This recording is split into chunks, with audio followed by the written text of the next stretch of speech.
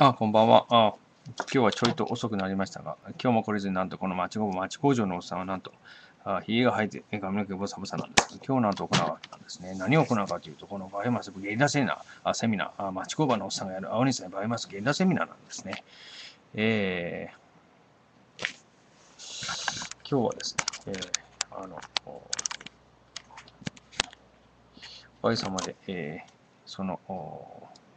ある事柄、まあ、詳しく言わない方がいいんでしょうね。ある事柄で、えー、うまいこと進展して、おかげさまでですね、えー、手前私の自身の力じゃなくてですね、えー、やはり、この、なんていうかな、交渉力というか、あその、素晴らしい方が世の中にいろいろいらっしゃるんでですね、えー、そういう方にちょっとお世話になりながら、あ日頃、仕事などもさせていただいている、この幸せ者だというふうに感じている日々でございますが、今日もですね、いろいろとお世話になりまして、ありがとうございました。おかげさまで、えー、うまいこといけば、これはまた新たな展開が手前どもとしてもですね、えー、できるということで、えー、大変ありがたいという幸せ者でございます。えー、それではですね、早速今日はですね、時間も遅いですから、このバイマスセミナーなるものを行いたいというふうに思い次第でございます。昨日の続きですね、実際はね。は、昨日の続きというかずっと続いてるんですけど、どういう表現したらよくわかる、いいかよくわからないですが、はい、今日もバイオマスセミナーを行うわけですね。えー、この元、根元、根元と言いますか、この話のネタ、話のネタというかおかしいですね。そもそも今回、えー、やってるというか、ずっと従来からやってるのがこのバイオマス活用推進基本計画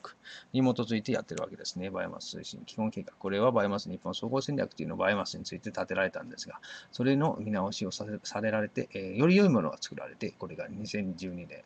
2010年じゃないですね。平成22年10年7日に閣議決定されたと。これは震災前のあの出来事であるということ。で、現在は再生可能エネルギー法案というのがもうえー、可決されましたけども、今後、このバイオマスについてはどうなるかということなんですが、まあ、バイオマスっていうの利活用の方法についてはですね、え、このバイオマスがなくて再生可能エネルギー法案というのが決まったんですが、あれはあくまでも電力の話なんですね。電力についてのバイオマス利活用の一つの方法としての電力に開発、電力にした場合のこの再生可能エネルギーということでの、え、見方なんですが、今から説明するのもやはりこの電力に関わってはくるんですけど、やはりエネルギー利用ということですね。このバイオマス活用推進基本計画になるこの技術開発についてはですね、えー、多分にエネルギー開発ということが謳われてます。えー、エネルギー利用ですね、開発と言いますか、エネルギー利用ですね。それは第4バイオマスの活用に関する研究開発に関する事項の中の、現在は、現在的、今現在は廃棄物系バイオマスの有効利用ですね、に関する技術開発の方向性というので、えー、申し上げています。えー、バイオマスというのは3つございまして、廃物廃棄物系未利用バイオマス、そしてもう一つがあの資源作物という3種類あるんですが、今現在廃物廃棄物系バイオマスですね。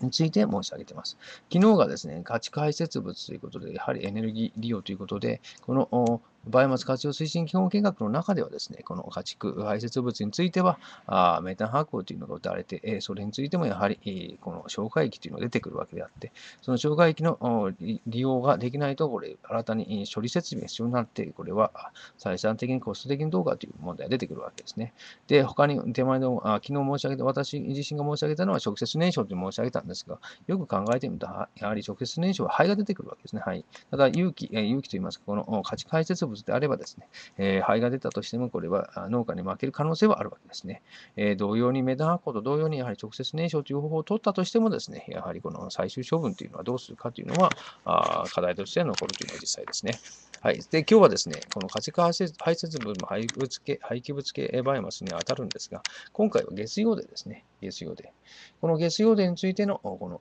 これも月曜では皆さんの、これ排泄物なんですが、これによって出てきた、この、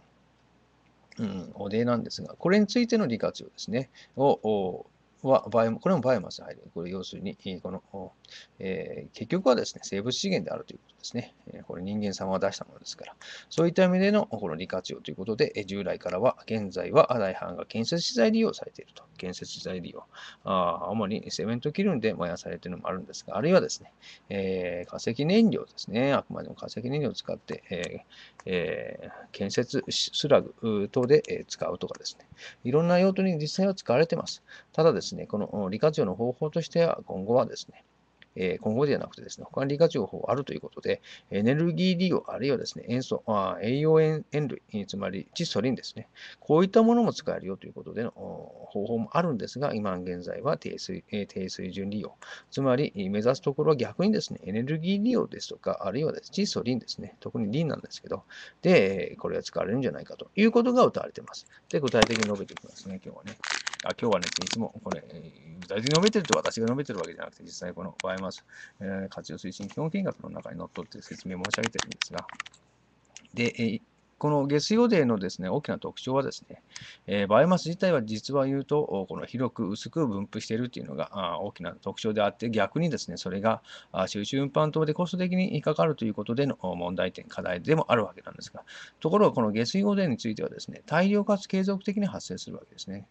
一つの場所に大量、そして継続的に発生するわけですね。そういった意味では利活用するというのはですね、大変よろしいことであるということを言えるわけですね。これについてはやはり廃棄物であるわけですから、これを、えー廃棄物をなくすという意味合いでも、この利活用というのは有効であるということを言えるわけなんですが、この下水用税というのは、やはり埋め立てというのも結構あるというのが実際です。で、今後の活用方法としては、バイオマス。の混合利用、他のバイオマスと混合して利用できないかということ、あるいはバイオマスのガス化ですね、ガス化、ガス化、そしてあと固形燃料化ですね。この3つがエネルギー利用として謳われています。バイオマスの混合利用、これは他のものと混合して利用できないか、あるいはバイオマスガス化、これガス化して使えないか、あるいは固形燃料化ですね。あくまでもエネルギー利用としてはこの3つが謳われている。混合利用というのはですね、要するに、えー、っと、あ、ちょっと忘れました。すいません。この3つですね。で、バイオマスガス固形燃料か。えー、何を言おうかというと、今まで思いついてたんですが忘れました。そ要するにエネルギー利用としての3つの方法があるという見方をされています。そして次にですね、あのこれが大事なんですけど、この下水汚泥の中に含まれるリンですね。えー、このリン。リン等の有効有用物質を効率的に適出する技術開発。つまり、リン等が使いたいと。この中に入っているリンですね。えー、特にリンを挙げられている理由があります。これはですね、えー、リン鉱石、リン鉱石が使われるんですけど、ただ、あの肥料ですね、肥料の三大要素と言われます、窒素、リン酸カリウム、えー、植物を育てるに必要なリンです。あ肥料ですね。この三大要素が窒素、リン酸、カリウムなんですけど、やはりリンが必要なんですね。リンが。ところがですね、世界最大のリン鉱石があって最大の生産国、中国なんですね。中国。中国何やってるかと輸出制限やってるんですね。それで入ってこないという。世界的に入ってこない。臨鉱石から入ってこない。まあこれ中国自体もこれ使わないと肥料がどんどん食べ物を、えー、肥料を使わないといけない。肥料を作らないといけないからリンを使うわけであって、これ世界に回す以前にこの自分のところで使うというのは当たり前なんですけど。そういったまでリンリンもですね、高騰という問題が出てきます。リン高騰ですね。化石燃料高騰もあるんですけど、リンもやはり高騰なんですね。いろんなものを高騰